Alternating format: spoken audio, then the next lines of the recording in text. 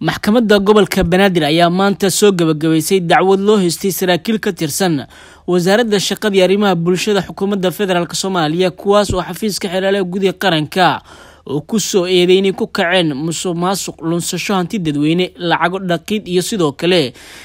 dayacadda mas'uuliyad loo egmaday eedeysanayaasha ayaa ahaa ilaa afar ruux oo ay ku jireen laba agaasimo guud oo hore u soo maray. Wasaaradda shaqadii arrimaha bulshada xukuumadda federaalk soomaaliya kuwaas oo kale ahaa cabdulaahi maxamed cali suldaan iyo sidoo kale maxamed cadde mukhtaar oo joogay goobta maxkamaddu ay ka dhaceysay iyo sidoo kale cabdiwaaxid muxsen ibraahim iyo cabdiraxmaan cabdikariim oo maqanayaal ahaa fadhiyada maxkamadda oo ilaa iyo sagaal garmaqal ahaa ayaa waxaa lagu soo bandhigay doodo kala duwan oo u dhexeeyey xafiiska xeelaalaha guud ee qaranka iyo qareennada difaaciya eedeysanayaasha oo gaaray ilaa iyo sagaal abuukaate waxaana la isdhaafsaday cadeymo iyo sidoo kale xogo ku saabsan dembiyada lagu soo eedeeyey. Doodaha ay isaga difaacayeen qareennada waxaa sidoo kale fadhiyada qaar maxkamadda la hor keenay. Markhaatiyaal iyo sargaal ka socday xafiiska hantidhoorka guud ee qaranka oo ahaa halka baarista dacwad ay ka soo bilaabatay. Ayada oo guddiga tashiga dacwadda oo ahaa garsooryaalna ay dhageysanayeen dhinacyada dooda isdhaafsanayay fadhigii ugu dambeeyey ee maanta ayaa waxaa xafiiska xeelaalaha guud ee qaranka uu soo gabagabeeyey dooda dhankooda waxaana xeelaali ku-xigeen faarax cabdiraxmaan jaamac uu soo bandhigay cadeymaha ku haray dhankooda ayagoo uu sheegay in dembiyada ay ku soo eedeeyeen raggan ay u hayaan cadeymo muuqmuuqda. Maadaama xafiiska xeraalyaha guud ee qaranku caddaynta in eedeysanayaashan saddexda ay faldembiyeedka ay eedeysanayaasha dhammaantood ay si guud dembiga uga wada qayb qaateen maadaama xafiiska xeraalyaha guud ee qaranku caddayn ahaan maxkamadda ugu soo gudbiyey email caddaynaya in eedeysanaha saddexaad uu ogaa loona sheegay faldembiyeedka ka dhacayay xafiiskaas.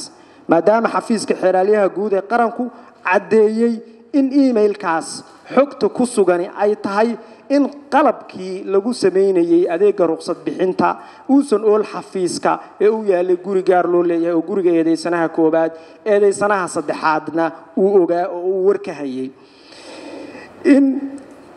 dhanka qareennada difaaca eedeysanayaasha ayaa dhankooda soo gabagabeeyey dacwadda waxaana ay sheegeen in muwakkiliintooda aysan wax shaqaa ku lahayn dembiyada lagu soo ogay. Waxaa muwakilkayga wax dokumenti ah oo xafiiska xelaalinta uu soo gudbiyey ama hantidhowraha uu soo gudbiyey oo lid ku ah oo maanta maxkamadda horteeda anigu inaan ka difaaco oo isagoo la leeyahay dhammaan dokumentiyadaasa mas'uuliyaddeeda uu leeyahay ma jiran oo maxkamadda la hor keenay ma jiran markhaatiyada maxkamadda la hor keenay hal markhaati ayaa xafiiska xelaalinta uu sheegay cali caliyow ayaa maxkamadda u sheegay inuu lid ku yahay muwakilkayga laakiin maxkamaddu markii ay dhegaysatay anigoona aan su'aala weydiiyey. Waxaa ka soo baxday in uu maxkamadda horteeda uu ka caddeeyey muddadii uu mas'uulka ka ahaa wasaaradda shaqada arrimaha bulshada agaasimaha guudna uu ka ahaa in ay ka socotay shaqo aad sharciga waafaqsan oo aysan jirin wax isdabamaryeen iyo wax musuq ah oo xadgudub ah inaysan jirin. Waxaa maxkamadda horteeda ka caddeeyey markhaatigii xafiiska xelaalinta maxkamadda ay hor keeneen mudane guddoomiye mudane algarsoorayaal sidaan horu sheegnaba eedda xafiiska xeelaalyaha guud waxaa saldhig u ahaa baaris uu sameeyey xafiiska hantidhowraha guud ee qaranka. Baaristaasna waan ka hadalnay waxay ahayd baaris jaban bursan wax xaqiiqana aan ku qotamin isku khaldan waxyaabihii ku qorayn aan maxkamadda u caddaynay. Waxay ahayd baaris aana wax tixraac iyo raadraaca lahayn. Baaris baara iska qortay excel u samaystay dakhli mala awaalow maskaxdiisa ka mala awaalana ku qortay maxkamaddana keene waayo markii dakhli laga hadlayo waa in caddayntii dakhligaas iyo hay'addii shaqada ku laga keeno taasina ma ayna dhicin. Sidaa daraaddeed taas ayaa waxay raatiraysaa inuu yahay cabdiwaaxid si dhumaalays uga shaqaynayn oo yahay shaqaalo rasmiya qaatana dowladda mushaar rasmi oo la yaqaana. Uusan ahayn noocyada kale ee aan horay u sheegnay ee shaqaalaha dowladda ah wasiirna inuusan ahayn nin gudna qaato uusan ahayn agaasimo uusan ahayn xil haynin uu yahay shaqaale adlaalo wixii loo dira hadba qabta waxaa la yidhi adeegaa la samaynaya haddii adeegga la samaynayey oo ay tahay xataa in adeeggii la sameeyey uu khalad ka yimaado waa in la helaa laba dhinac oo wax isdhaafsatay oo ah dhinac adeeg loo samaynayo corruption bixiyey iyo dhinacii kaloo adeegga samaynayo oo asagu qaatay faa'iidadii ama qarash ka qaatay. Lama keenin. Taas waxay ku tusaysaa marka saldhigga dacwadda oo maanta aan u joogno inaan marnabo aysan dhisneen culaysna lagu saari karin ama lagu eedayn karin. Agaasimaha guuda ugu sarreeyo ilaa inta ka hooseyso markaan si gaara marka u hadlo. Gudoomiyaha maxkamadda gobolka banaadir saalax cali maxamuud dabaan ayaa soo gebagabeeyey dacwadda maanta waxaana uu sheegay in xukunka ay soo saari doonto dhowaan lagu shaacin doono fadhi furan oo bulshada ay ka soo wada qeybgeli karaan toosna looga daawan karo warbaahinta.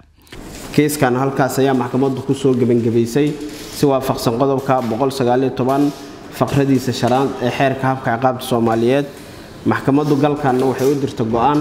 Dhowaan ayayna go'aan ka soo saari doontaa. Fadhiga maxkamadduna waa noo xiran yahay. Maxkamadda gobolka banaadir ayaa bartamihii bishan soo gebagabaysay laba dacwadood kuwaasi oo ku saabsanaa musuq maasuq iyo xatooyo xoolo dadweyne waxaana eedeysanayaal ka ahaa ilaa iyo toddoba ruux oo ka tirsanaa wasaaradda maaliyadda bangiga dhexe iyo hadda socdaalka iyo jinsiyadda waxaana dacwadda maanta la soo gebagabeeyey oo eedeysanayaal ay ka hayeen ilaa afar ruux ay noqonaysaa dacwaddii saddexaad oo ay soo gebagabayso maxkamadda gobolka banaadir.